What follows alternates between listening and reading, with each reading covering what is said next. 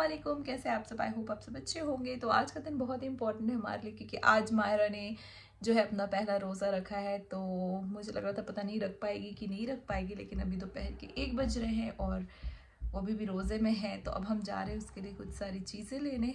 तो start blog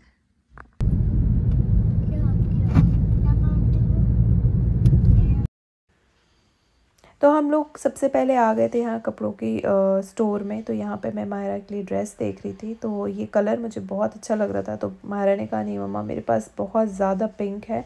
अब मुझे पिंक कलर नहीं लेना, मुझे कोई डिफरेंट कलर लेना है। तो मैंने कहा, ठीक है, जो भी तुम्हें पसंद है तुम ले सकते हो।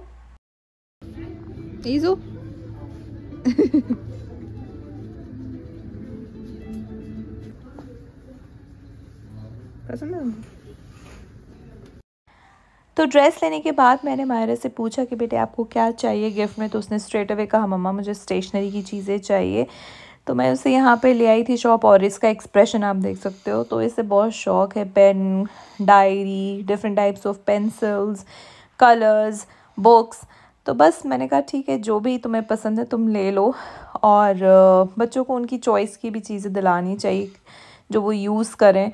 अब शायद इस एज स्टेज में आ गई है जहाँ पे ये सारी चीज़ें उसे ज़्यादा पसंद आती हैं। तो हम यहाँ पे फिर आ गए हॉबी क्राफ्ट तो यहाँ पे भी आर्ट एंड क्राफ्ट की ना ह्यूज कलेक्शन था। ये नया स्टोर खुला है हमारे एरिया में। तो काफ़ी अच्छा था। थोड़ा एक्सपेंसिव है मगर अच्छा है। काफ़ी कलेक्शन है इनके पास। तो यहाँ से भी उसने मार्कर और आ, पेंटिंग की बहुत सारी चीज़ें ली।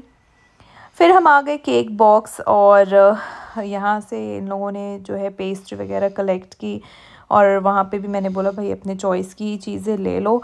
और बाहर ले जाने का बस ये मतलब था कि उसका थोड़ा सा मन जो है वो डेविएट हो जाए और ये ड्रेस उसने ली थी तो बहुत पसंद थी उसको पर आकर नहाकर उसने तुरंत ये ड्रेस पहन ली। मैंने कहा ठीक है तो कोई नहीं। लोग आ गए हैं घर और घर आकर मैंने जल्दी जल्दी बहुत सारे काम निपटाए और आज मैं बहुत खुश हूँ। अब देखो चार बज रहे दो, ढाई घंटे और हैं एंड ठीक है Myra she is okay she is playing and everything तो मैं बहुत ज़्यादा एक्साइटेड हूँ कि आज उसका पहला रोज़ा होगा एंड आपके बच्चे का फ़र्स्ट आपके लिए शायद बहुत स्पेशल होता है एंड शायद क्या स्पेशल होता है।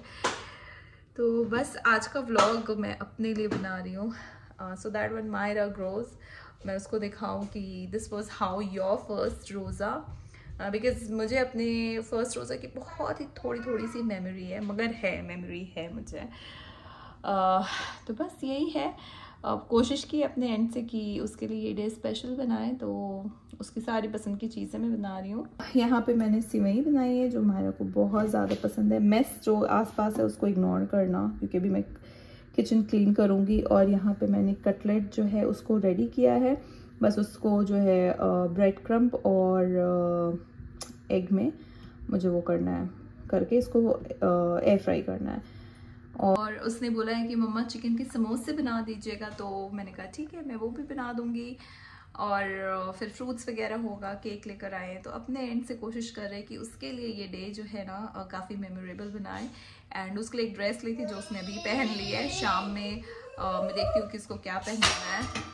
तो बहुत नर्सरी नहीं जाता है ना तो पूरी एनर्जी जो है इधर उधर करके करता है। खैर सो so, बस अब थोड़ी थोड़ी सारी चीज़ें एंड जल्दी से दो घंटे में निकल जाएँगे। सी तो जैसे मैंने फ्रिज खोला ना मुझे थोड़ा सा पनीर मिल गया तो मैंने फटाक से ना उस पनीर चिली बना लिया। बहुत ही बेसिक सी रेसिपी है कोई बहुत फैंसी सी रेसिपी नहीं है।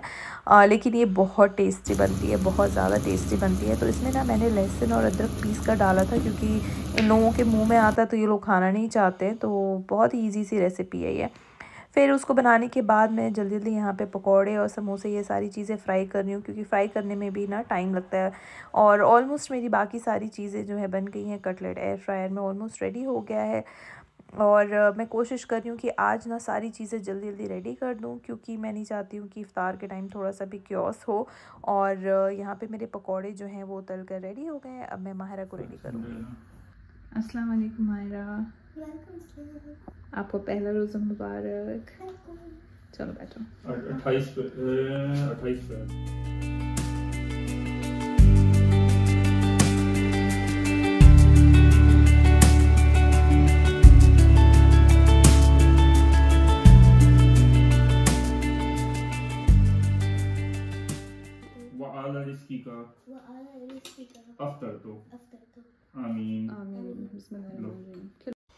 और जैसे ही अज़ान हो गई बस उसके पापा ने उसका रोज़ा खुलवाया और फाइनली उसका पहला रोज़ा जो है वो कंप्लीट हो गया और फिर मैंने कहा थोड़ा सा पानी पी के फिर अफ्तार करो और उतने में इंडिया से सबका वीडियो कॉल आ गया तो जो बस पेस्ट्री आई थी उसको हम लोगों ने कट करवा दिया। तो ये छोटा सा सेलिब्रेशन हो गया।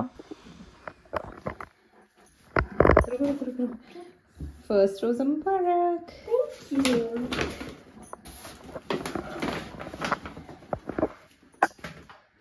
सब तुमने अपनी चॉइस का ही लिया पर दिखा दो क्या क्या लिया तो ये रेमो मम्मी की रेमो मोबाइल है।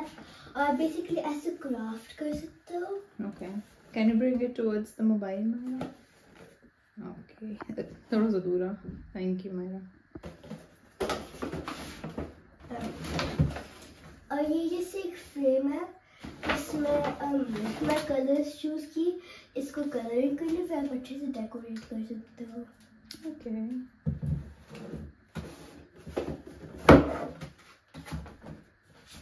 फिर ये मैं एक डायरी और पेन है। जिसको तुम्हारा ऑब्सेस्ड है डायरी और पेन से। दिखाना डायरी पे अच्छे नाइस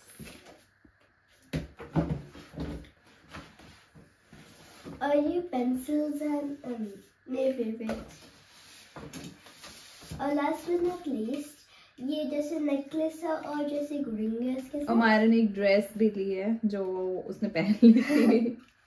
दिखाओ अपना ये। पास लाओ। आपको पसंद आए सारे गिफ्ट बहुत पसंद है थैंक यू वेलकम अब इसी में अपना हाइट करके रखना कि जान के हाथ ना लगे। और ड्रेस पसंद आई? बहुत पसंद आई सब मायरे ने अपनी चॉइस करिया था और ये सारी चीज़ों का ना हमारा को बहुत ज़्यादा ही शौक है। तो बस वही चीज़ लिए जो ये यू जिसमें आ रहा है। आई गेस तुम्हारे इसमें जाएगा रिंग फिंगर में जाएगा। वो एक्सपैंडेबल है बेटा वो आराम से चला जाएगा। You can expand that from behind या इट्स लुकिंग वेरी प्रीटी और ये मैचिंग है। हम्म। चलो ठीक है मैडम हाँ। जल्दी से तुम सारा हाइट करके कोई जान से पहले। तो ये था छोटा सा ब्लॉग मायरा के फ़र्स्ट रोज़े का।